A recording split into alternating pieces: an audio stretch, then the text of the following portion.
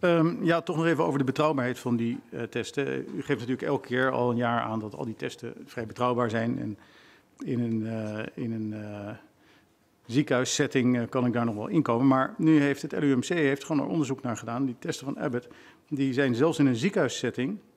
voor mensen met een positieve PCR-test worden 40% van, van die mensen niet gedetecteerd als coronapositief. Dus er zit een gigantische onzekerheid in. En bij een lage prevalentie wordt die onzekerheid nog veel groter. Dus ja, hoeveel zin heeft het dan nog met dat soort testen? De minister. Nou, dat heeft wel zin. Uh, kijk, we hebben heel uitgebreid die antigentesten uh, gevalideerd. En uiteraard, de PCR-test is de gouden standaard. Daar zijn wij het niet over eens. Uh, daar hebben we al meerdere debatten over gevoerd. Maar de PCR-test is wereldwijd, geldt die als de gouden standaard. Dus de betrouwbaarheid van de antigentest wordt afgemeten aan, uh, aan de vangst uh, van positieve testuitslagen met de, met de PCR-test. En zo kom je op een betrouwbaarheidspercentage bij een professionele afname van ergens tussen de 80 en de 90 procent en ergens tussen de 70 en de 80 procent bij een zelfafname. Nou, en uh, dan, dan uh, moet je concluderen dat een uh, betrouwbaarheidspercentage van tussen de 80 en de 90 procent wel degelijk bruikbaar is om een aantal redenen. Uh, namelijk één, je moet het altijd relateren aan de epidemiologische situatie buiten en de spannendheid van de situatie achter het poort van het toegangstesten. En die moeten met elkaar in evenwicht zijn. Uh, spak een beet dat we echt op grote schaal nu al hosfeesten met 10.000 man zouden gaan organiseren achter het toegangstesten. Dan ben je natuurlijk een groot ongeluk aan het organiseren, want daarvoor is de betrouwbaarheid van de sneltest onvoldoende. Maar je doet dat grote hostfeest ook pas als het kan. En als dus in, buiten niet meer 1 op de 100 mensen besmettelijk is, maar bijvoorbeeld inderdaad 1 op de 10.000, nou dan is het echt wel te doen. En overigens ook al voor die tijd is dat echt wel te doen. De situatie van zomervakantie vorig jaar bijvoorbeeld hadden we 3000 positief of besmettelijke mensen. Uh, nou, en, dat was uh, natuurlijk een, een, een, een, heerlijke uitgangspositie, uh, waarvan je zou hopen dat we er snel weer komen, maar waarvan we het gewoon niet weten wanneer we daar weer zijn. Maar in die uitgangssituatie ja, ben je met de, de sneltest natuurlijk ook in de 80% betrouwbaarheid ben je behoorlijk goed af. De tweede reden is dat als je niet wordt gevangen, tussen aanhalingstekens, door die antigentest, moet je er ook van uitgaan dat de mate van besmettelijkheid, dus de, de virale lood, dat die lager zal zijn.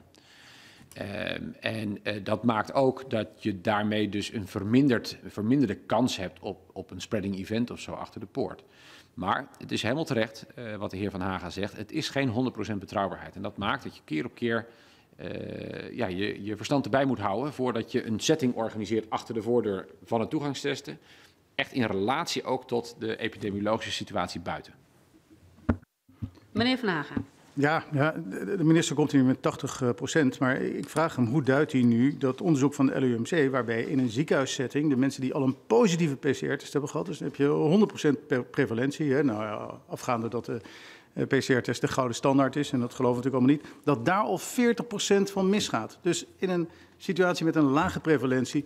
is zo'n sneltest totaal onbetrouwbaar. En dan ja, nou, natuurlijk heb je, klopt dat verhaal van die lagere virale lood. Dat snap ik allemaal. Maar dit, dit onderzoek van het LUMC toont gewoon aan dat in een, in een setting bij een festival um, met een lage prevalentie het gewoon totaal uh, onbruikbaar is. En dan nog, er is nog een andere vraag, um, of die testen eigenlijk wel bedoeld zijn voor de toepassing als grootschalig diagnose-instrument op deze manier.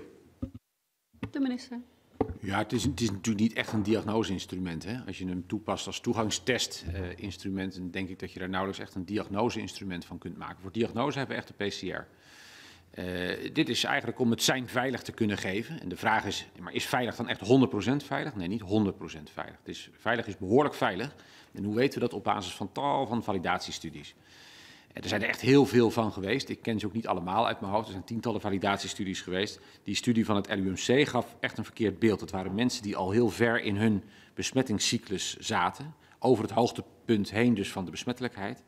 En dan pas bij de huisarts uh, terechtkwamen. Dus die kan je niet, daar, die kan je niet pas pro toto toepassen op de kwaliteit van de uh, antigentesten. Al die settings ook die, die validatiesettings uh, moet je altijd aflezen uh, in, uh, in de precieze context van de afname ook van die validatie.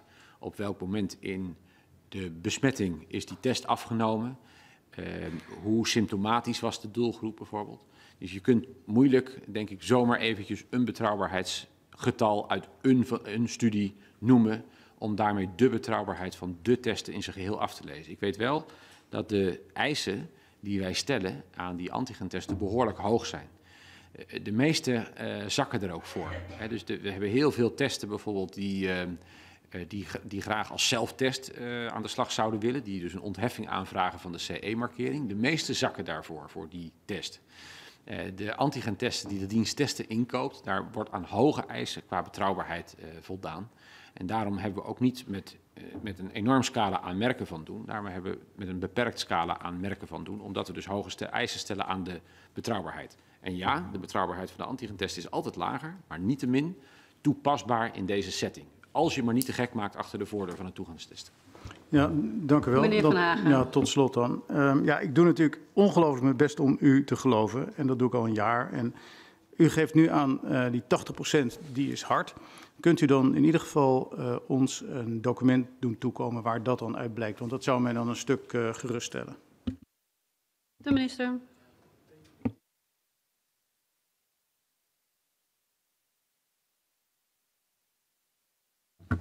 Kijk, eh, we hebben die validatiestudies en die worden vervolgens worden ze eh, beoordeeld door het OMT. Zo, dat is eigenlijk de, de manier waarop we daarmee werken. En in de inkoop bijvoorbeeld worden er betrouwbaarheidseisen gesteld en de leverancier zelf moet dat bewijs leveren. Vervolgens wordt het, het onderzoek wat dat bewijs levert, wordt weer beoordeeld door het RIVM. Dus er zit een hele beoordelingscyclus achter. Dus het is niet zo dat iemand met, met, met Chinese rommel zomaar ertussen komt of zo. Hè? Eh, dus wat wij doen is hoge eisen stellen. En daar is natuurlijk documentatie van. Ik ga even kijken in welke vorm dat het beste ook aan uw Kamer kan worden verstrekt. Moet wel Ja, leesbaar nee, zijn. Voor Ja, dat Meneer gaat, Vragen, gaat natuurlijk... Ja, sorry. Kijk, als, nee, maar als u steeds begint te praten, het- het is heel praktisch. Hè? Als ik u aankondig, dan staat wat u zegt onder uw eigen naam. Maar als u begint te praten als de minister, dan staat straks uw tekstblokje onder zijn naam. Dus vandaar dat het van belang is dat de voorzitter, hoe vervelend ook, een paar duizend keer op zo'n dag het woord geeft. Daar heeft u helemaal gelijk in, want dat willen we beiden niet. Maar ehm, ja, nee, het ging even over die 80%. Dus u komt nu met een document waaruit die 80% blijkt. En, en dan ben ik blij. De minister? Ja? Dat is Ik ga, Ja. ik ga u de documentatie sturen in een vorm dat u er ook wat mee kunt. Eh, en ik moet even kijken hoe we dat het beste kunnen doen. Ja.